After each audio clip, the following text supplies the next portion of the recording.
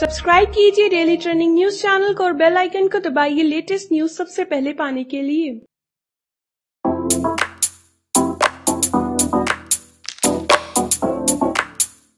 मुकाबला Asia cup में Hong Kong के साथ हुआ। भारतीय टीम ने पहली पारी में बल्लेबाजी करते हुए 50 ओवर्स में सात विकेट के नुकसान पर दो रन बनाए। जवाब में हांगकांग की टीम ने अच्छा जवाबी हमला जड़ा और पहले विकेट के लिए चौतीस ओवर में एक सौ चौहत्तर रनों की साझेदारी पर भारत ये मैच 26 रनों से जीत गया। इस मैच में खलील अहमद ने शानदार गेंदबाजी करते हुए 10 ओवर में 48 रन देकर तीन विकेट लिए।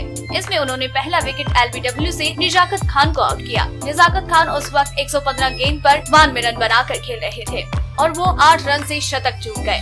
लेकिन इस मैच में निजाकत खान के खिलाफ छत्तीसवे ओवर की चौथी गेंद पर एलबीडब्ल्यू की मांग रनअप के बाद पीछे मुड़कर भागते हुए कर रहे थे और उनकी भिड़ंत रन लेते हुए निजाकत खान से हो गई, जिसकी वजह से वो गिर पड़े। हालाँकि इससे उनको किसी भी तरह का नुकसान नहीं हुआ, लेकिन ये चोट गंभीर साबित हो सकती इस मैच में उन्होंने दस ओवर में अड़तालीस रन देते हुए तीन विकेट छटके।